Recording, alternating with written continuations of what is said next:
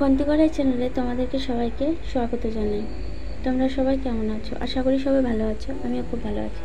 তো আজকে তোমাদের সাথে নতুন একটা রেসিপি নিয়ে তোমাদের সামনে এসেছি। আজকে মাছের যে পেট পেটি থাকে, সেটা দিয়ে পেঁয়াজ দিয়ে পেঁয়াজ দিয়ে রান্না হবে। পেঁয়াজ আর মাছের পেটি দিয়ে। তো তোমরা দেখতে থাকো।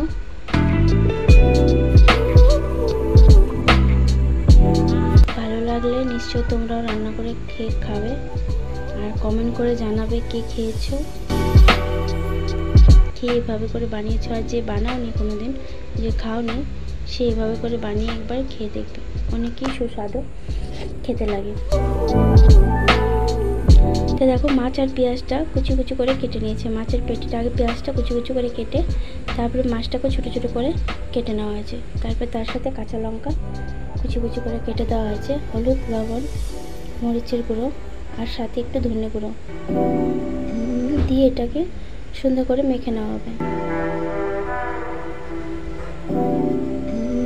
সাথে সাথে একটু সর্ষের তেলও দেওয়া হবে, যাতে জিনিসটা মাখতে একটু মানে জিনিসটা মজে যায়।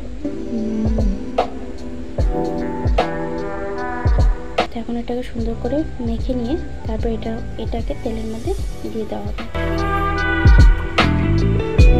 আমার খুবই ভালো লাগে খেতে, তোমরাও ট্রাই করে দেখবে। আশা করি তোমাদেরও খুব ভালো লাগবে।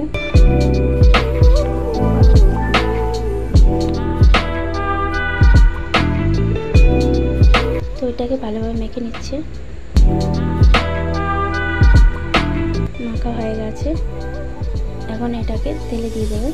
তেলে দিলে ভালোভাবে এটাকে ভেজে নেবে।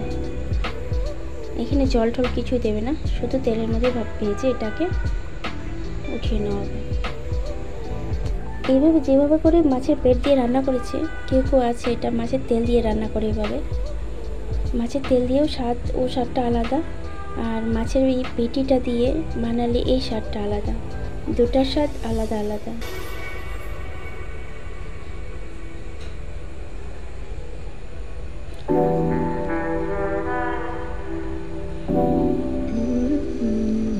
আশা করি তোমাদের খুব ভালো লাগবে।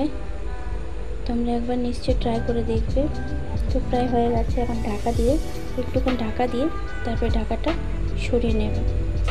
তো দেখো, এটা হয়ে গেছে। এটা গরম গরম ভাতের সাথে খেতে খুব স্বাদ। তো আজকের রেসিপি তোমাদের কেমন লাগল নিশ্চয়ই কমেন্ট করে জানাবে। আর এইভাবে সুস্বাদু রেসিপি দেখার জন্য চ্যানেলটাকে সাবস্ক্রাইব করে রাখবেন, যাতে আমাদের ভিডিও সবার প্রথমে তোমাদের কাছে পৌঁছায়। তো আজকের জন্য টাটা, বাই বাই।